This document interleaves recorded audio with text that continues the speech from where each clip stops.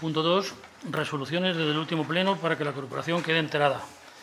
Son, esta vez, muchas, ¿eh? Desde la número 2023-475 de 20 de marzo de 2023 a la 2023-705 de 24 de abril de 2023. És un punt informatiu, però tinc com per costum donar la paraula, si algú vol intervindre. No?